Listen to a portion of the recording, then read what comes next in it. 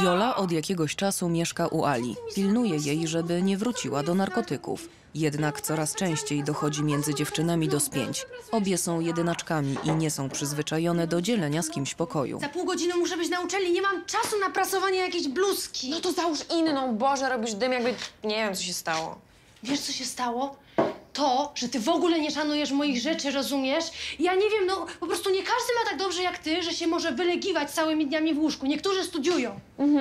A niektórzy po nich sprzątają tak jak ja po tobie, odkąd się wprowadziłaś, to nie kiwnęłaś nawet palcem. Przecież dobrze wiesz, że mam bardzo ciężką sesję. A ja mam dość sprzątania. O Boże, no to nie sprzątaj, a kto cię w ogóle o to prosi? Nie, no jasne, to w ogóle zamieszkajmy ze stadem robali. Będzie milutko, na... o, nadamy im imiona. Patrz, już mamy nawet na nich śniadanko. O! Co cię śmieszy? Wyobraziłam nas sobie z tymi robalami.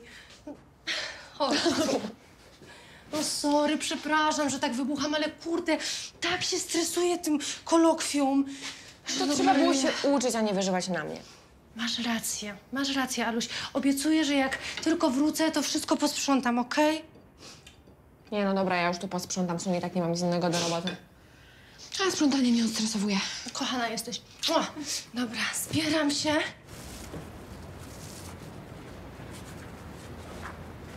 Au, ała, uważaj, Ranek, Jej. nie da się nawet przejść. Sorry, sorry. Przepraszam cię bardzo. Już to wszystko zabieram stąd. Mieszkasz tutaj?